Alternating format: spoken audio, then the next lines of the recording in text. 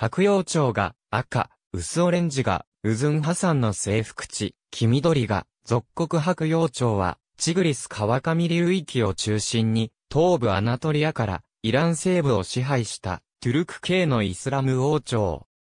王朝の基礎となったのはトゥルクマーンと呼ばれるトゥルク系遊牧民でバヤンドル部族から出た君主を中心とする部族連合を元とする遊牧国家であった。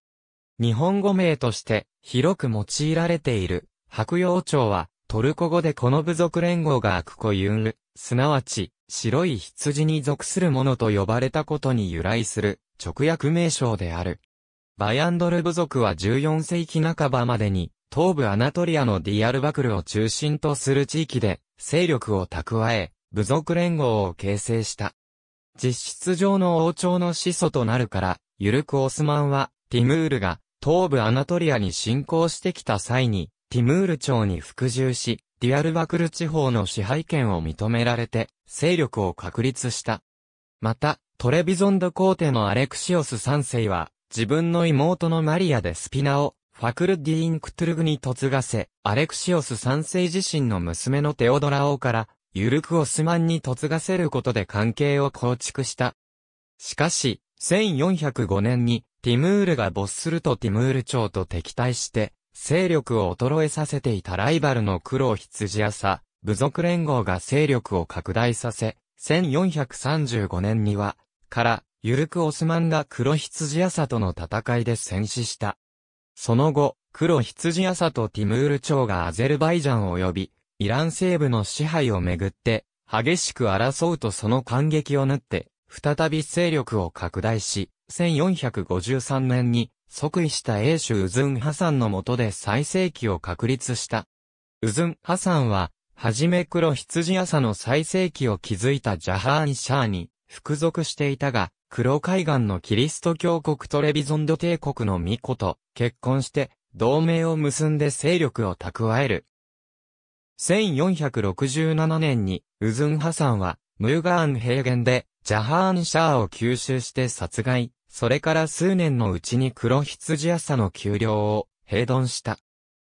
1469年には、ティムール朝のアブーサイードを破って、イラン西部における覇権を確立し、東部アナトリアから、イラク、アゼルバイジャン、イラン西部にまで及ぶ、大帝国を築き上げる。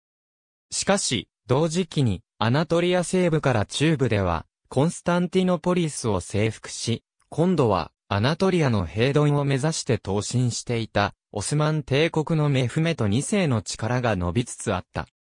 1473年、ウズンハサンは、バシュケンとの戦いで、メフメト2世の大軍を迎え撃ち、盛況な遊牧民の騎兵をもって、よく前線するが、オスマン帝国の誇る火器で装備された強力な常備軍の前に敗れた。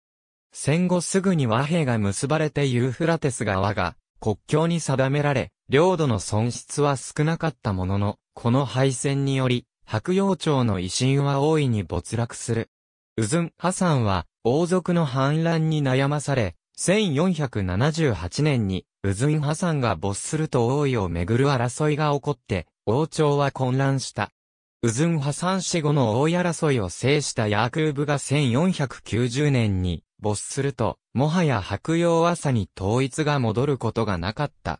領内の各地にはそれぞれ王族が自立して相争い、白洋朝は急速に自戒していった。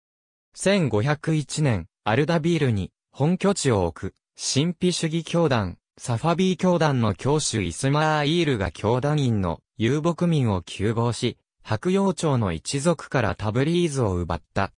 白葉町の王族たちは1508年までにイスマーイールによって全て追われ、白葉町は滅亡した。